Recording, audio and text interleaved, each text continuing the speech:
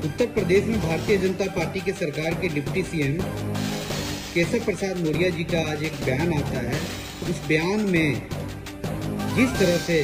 आदरणीय महासचिव श्रीमती प्रियंका गांधी जी के ऊपर जो टिप्पणी करते हैं, उसका हम कड़ी से कड़ी निंदा करते हैं। और ये केशव प्रसाद मौर्य जी का जो बयान है,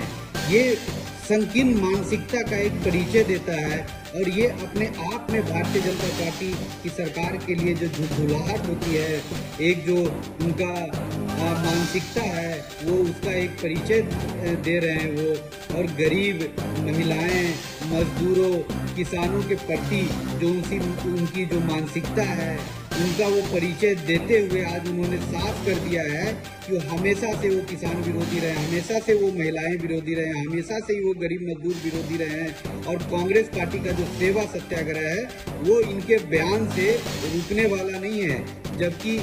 और भी तेज रफ्तार में सेवा सत्याग्रह कांग्रेस पार्टी का एक एक सिपाही उत्तर प्रदेश में शुरू करेगा और प्रदेश की जनता सब देख रही है। केशव जी, आप देखते जाइए। आपका जो ये संकीर्ण मानसिकता वाला बयान है, उसका भी जवाब यहाँ प्रदेश की जनता आपको देगी